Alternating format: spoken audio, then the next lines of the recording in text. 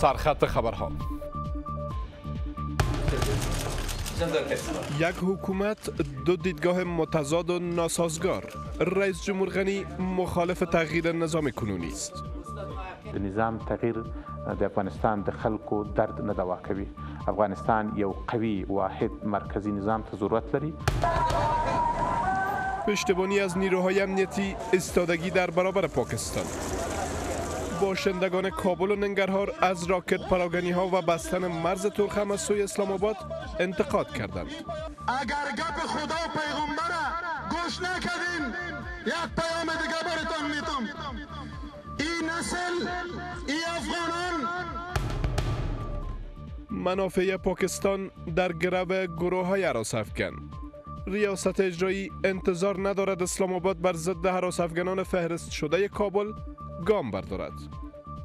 عمل پاکستان صادقانه نبوده یا در کل هیچ اقدامات عملی نداشته و نباید زیاد انتظار رفت که این دفعه کارهای عملی شود.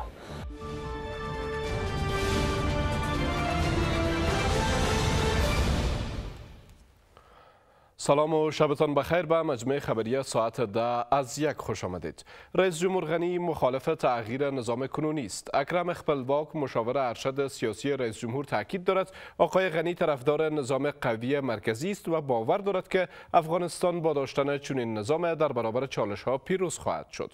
آقای اخپلواک در گفتگوی ویژه با تلویزیون یک همچنان روابط کشورهای روسیه و ایران را با طالبان برای افغانستان نگران کننده می داند سجاد محمدی در این مورد گزارش دارد. بحث تغییر نظام در افغانستان اصرار ریاست اجرایی انکار ریاست جمهوری. یک حکومت و دو دیدگاه کاملا متضاد و ناسازگار.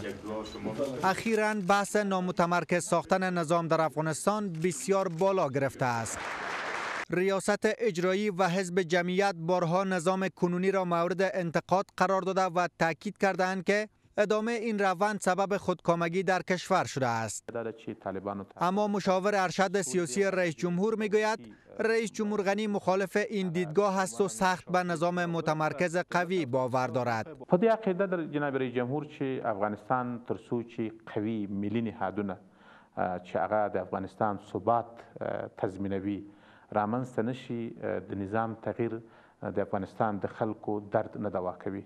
افغانستان یو قوي واحد مرکزی نظام ته ضرورت لري چې دغه واحد قوي مرکزی نظام افغانستان له دغه پیرنو چالشونو کړکېچونو څخه رایستلی سي در این میان آقای اخپلواک روابط روسیه و ایران را با طالبان بسیار نگران کننده میگوید. بلا شک د چین او د ایران او روسیې روسیې ارتباطات د طالبانو سره د نگرانی وړ دي او په هغې باندې د افغانستان حکومت اعتراض کړی ده او دا د ډیپلوماټیکو نورمونو په خلاف دي او د هغه اصل په خلاف دي چې موږ د ترهګرۍ او تروریزم او افراطیت سره جنګیږو. د هغې برنامې خلاف دي چې د سیمې هیوادونه او د نړۍ هیوادونه د افراطیت ضد جنګیږي. دا هیڅ ډول ګټه نه لري. دوی په جای دي دولتي روابطو چې هغه په مؤثره توګه د افراطیت او ترهګرۍ پر خلاف باندې جنګیږي اقدام وشي. اکرم اخپلواک همزمان رئیس کمیسیون تطبیق توافقنامه صلح دولت با حزب اسلامی نیز است. او یک ماه پیشتر به تلویزیون یک گفته بود که صد زندانی حزب اسلامی به زودی آزاد خواهند شد. حالا اما این فهرست را کوتاه‌تر می سازد با اضافه همان قید زمانی به زودی آخرین نوملړی امنیت شورا ته هم وړاندې شوی ده ان شاء الله په نږدې راتلونکي کې به من د لومړني یو تعداد بندیانو چې دقیق له پنځوسو څخه به پورته وي د هغوی د خلاصون په اړوند باندې هغه نهایی پروسه تکمیل کو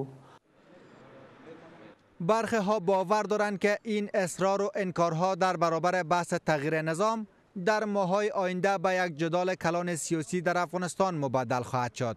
در حالی که رئیس جمهور غنی و دکتر عبدالله در توافقنامه سیاسی بر برگزاری لوی جرگه تعدیل قانون اساسی و تغییر ریاست اجرایی به صدارت اجرایی توافق کردند. در کنارش اتحاد اروپا هم با انتقاد از نظام متمرکز کنونی خواهان به میان آمدن نظام غیر متمرکز در افغانستان شده است. همچنان جریان مکمل گفتگوی ویژه من با آقای اکرم اخبلواک را پس از این سرویس خبری بیننده باشید.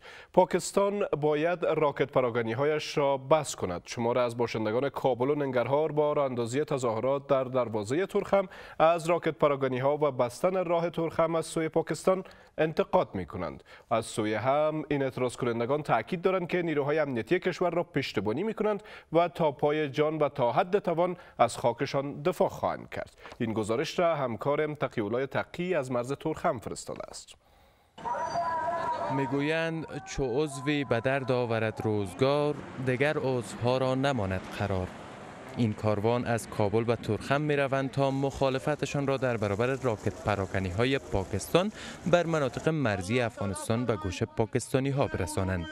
در دروازه ترخم تظاهرات به پا کرده و از پاکستان می خواهند که راکت پراکنی هایش را بس کند.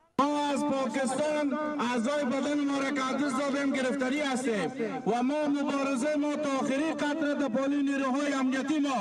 ما از مردم ننگرهار ما که راکت باران از دفاع می‌کنیم.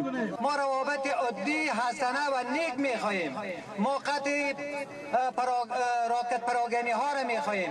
در صورتی که پاکستان راکت پراکنی هایش را بس نکند اینان هشدار می دهند که تا پای جان در برابرشان خواهند ایستاد.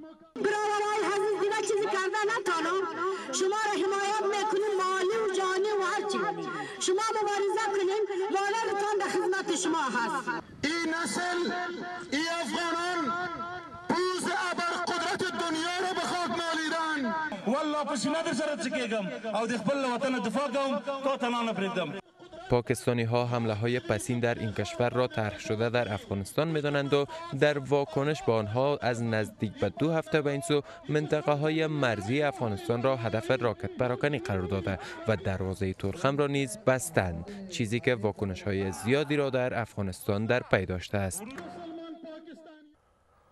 ریاست اجرایی می‌گوید که نباید انتظار بیشتر داشت که پاکستان بر ضد افغانان فهرست شده کابل گام عملی بردارد. سخنگوی این نهاد می‌گوید تجربه نشان داده است. پاکستان هرگز افغانان را که منافع این کشور را تأمین می‌کنند نابود نمی کند در این حال وزارت خارجه در پیوند به فهرست های تبادله شده میان کابل و اسلام آباد می‌گوید بررسی های دو طرف در این باره ادامه دارد. اماد روستایی گزارش می‌دهد. حمله مرگبار در ایالت سند پاکستان یک بار دیگر سبب تیرگی روابط میان کابل و اسلام آباد شد. حمله ای که به باور اسلام آباد تحریزیش در خاک افغانستان صورت گرفته است. پس از این رویداد کابل و اسلام آباد فهرست های از حراس افغانان را با هم تبادله کردند تا بر بنیاد آن دو طرف برای نابودیشان دست به کار شوند. بان که از این کار کم و بیش یک هفته می گذارد تا کنون بررسی ها پایان نیافته و نیز گام عملی برداشته نشده است. ما شاهد همکاری جمهوری اسلامی پاکستان نباشیم. طبعی است که دولت جمهوری اسلامی افغانستان از همه امکانات دیپلماتیک خودش استفاده خواهد کرد و برای آوردن فشار و تعذیرات بیشتر به مکانیزم و چارچوبای بین المللی از جمله سازمان ملل متحد متوسل خواهد شد. اسلام آباد و کابل مکلفند تا فهرست های تبادله شده را بررسی کنند و برای عملی آن گام های صادقانه بردارند. هرچند ریاست اجرایی می‌گوید کابل برای نابودی لانه های حراس در کشور چهارده سال از گام های عملی را تجربه می کند اما این نهاد باور ندارد که اسلام آباد به خواست حکومت افغانستان پاسخ مثبت دهد. عمل پاکستان صادقانه نبوده یا در کل هیچ اقدامات عملی نداشته و نباید زیاد انتظار رفت که این دفعه کارهای عملی شود. اما چون تروریسم یک تهدید است یک خطر است و ای در پالوی افغانستان پاکستان و منطقه را هم در تهدید قرار میده. ضرورت است که بردش اقدام شود و پاکستان هم باید این مسئله را درک کنه. برخی آگاهان باور دارند که اراده صادقانه کابل و اسلام آباد تضمین کننده پایان چالش ها میان پاکستان و افغانستان است و باید اسلام آباد برای نابودی حراس افغانان در خاکش دست به کار شود. عزم و اراده بر این باشه صداقت باشه بر این که ما می‌خواهیم اینا را جمع بکنیم. در اون صورت مسئله عملی است. یعنی نیت بری باشه و عزمشان بر این باشه که ما صادقانه همکاری بکنیم مسئله عملی میشه. بسیاری ها دلیل بیثباتی و ناامنی در کشور را به پناهگاه های امن حراس افغانان در خاک پاکستان پیوند می دهند. هرچند پاکستان در سالهای پسین همواره متهم به پشتیبانی از گروه های حراس افغانی بوده است اما تا کنون این کشور گام های برای نابودی لانه های گروه های حراس افغانی در خاکش نبرداشته است. از راه برنامه میثاق شهروندی یک میلیارد دلار در بخش پروژه توسعه روستاها هزینه خواهد شد. وزارت احیا و انکشاف دهات می‌گوید که این برنامه چهار ساله بیشتر پروژه های بزرگ را زیر پوشش قرار خواهد داد و نهادهای کمک کننده در تمویل مالیان آمادگیشان را اعلام کردند. تمیم شهیر گزارش می‌دهد. ضرورت های مردم متفاوت است. پایان برنامه همبستگی ملی سرآغاز برنامه دیگر توسعه تاثیر اقتصادی اجتماعی برنامه تازه پروژه های را زیر پوشش قرار می دهد که تحرک اقتصادی داشته باشند. میثاق شهروندی بیشتر روستاهایی را در اولویت قرار می دهد که از راه برنامه همبستگی ملی هیچ پروژه در آن عملی نشده است. وزارت احیا و انکشاف دهات شمار این روستاها را دوازده هزار می گوید. حال ضرورت های مردم متفاوت است. در روزهای اول ما به پروژه های چیز عادی فکر می‌کنیم برای پروژه های بزرگ که تاثیر اقتصادی اجتماعی در منطقه داشته باشه به او فوکس می‌کنیم که این سبب تحرک اقتصادی در خریجات میشه و مهاجرین به اصطلاح استاد می‌کنه که به طرف شهرها بره مسئولان بانک جهانی می‌گویند که از برنامه میثاق شهروندی حمایت قاطع خواهند کرد. تطبیق برنامه همبستگی ملی درس برای ما بوده که می توانیم در دیگر کشورها نیز آن را استفاده کنیم. به همین منظور ما تعهد می کنیم که برنامه میثاق شهروندی را نیز همانند برنامه همبستگی ملی حمایت می کنیم برنامه همبستگی ملی که 14 سال پیش برای رشد وضعیت زندگی مردم و بهبود ساخت ساز در روستاهای ایجاد شده بود یک میلیارد دلار هزینه برد و از راه آن 35 هزار پروژه در روستاهای کشور بهره برداری شد.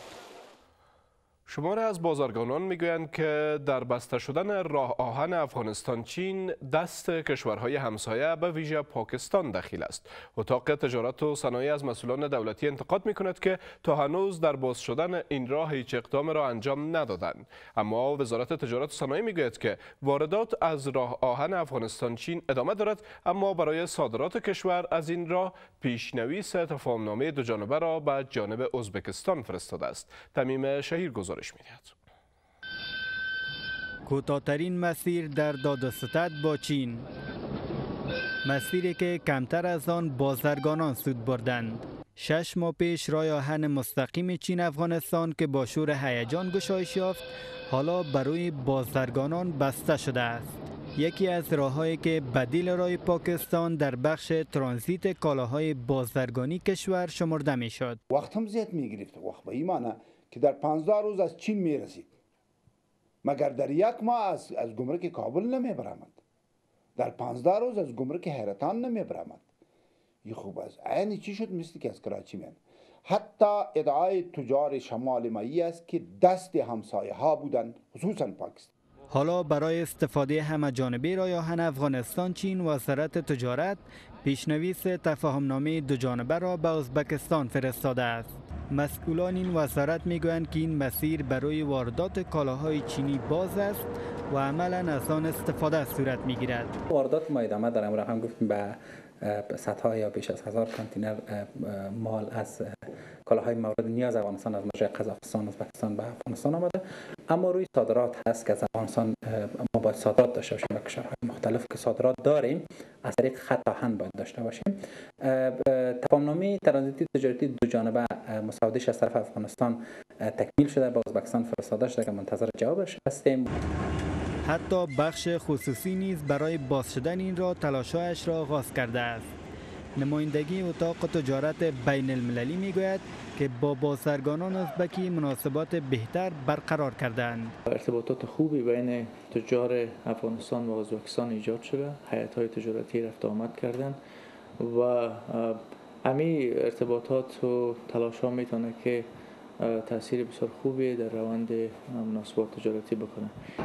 حالا بیشتر کالاهای بازرگانی و ترانزیتی از راه بندر آقینه وارد کشور می شود. راهنه که بخش از راه لاجورد به شمار می رود. پاکستان هم که مرزهایش را برای کالاهای بازرگانی کشور بسته کرد راه های بدیل مانی بلند رفتن بهای مواد خوراکی در کابل و ولایت ها شده است. چیزی که در سالهای گذشته پیشینه نداشته است. دوباره خوش آمدین. ادامه مهمترین ها دولت چین خواستار گفتگوی مستقیم بین دولت سوریه و نمایندگان مخالف بشار الاسد شده است. فرستاده ویژه چین در امور سوریه می‌گوید که تنها راه حل سیاسی در این کشور گفتگوی مستقیم میان مخالفان و دولت بشار الاسد است. در این حال وقوع چند حمله انتحاری به مراکز امنیتی در شهر هومس سوریه حدود 40 کشته و بیش از 30 زخمی بر جا گذاشته است. ژنو چهار امید تازه برای حل بحران چهار ساله سوریه.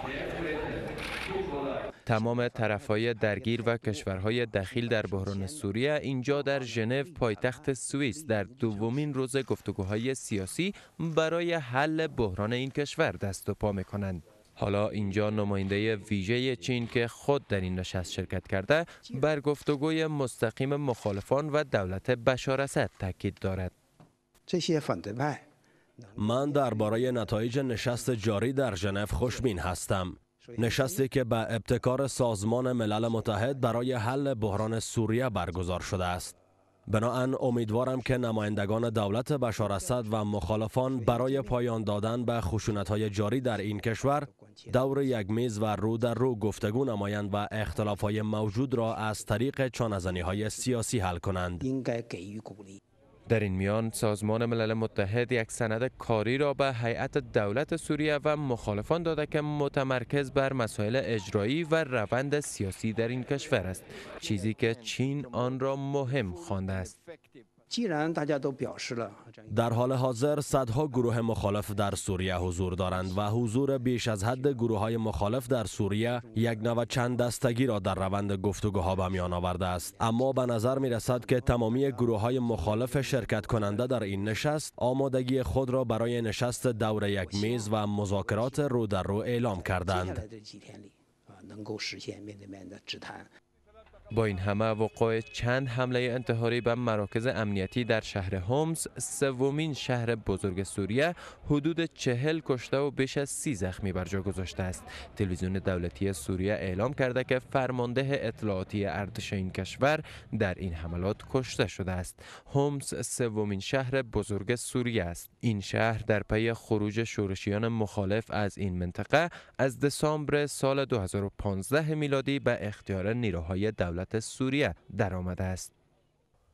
خبرها همین قدر بود. اما روی چگونگی توافق حکومت و حزب اسلامی و پیشرفتها در این زمینه؟ مذاکرات سال. تعاملات منطقه در مورد افغانستان و همچنان تغییر نظام. گفتگوی ویژه من با آقای محمد اکرم اخپلواک نماینده خاص رئیس جمهور در امور سیاسی را بیننده باشید.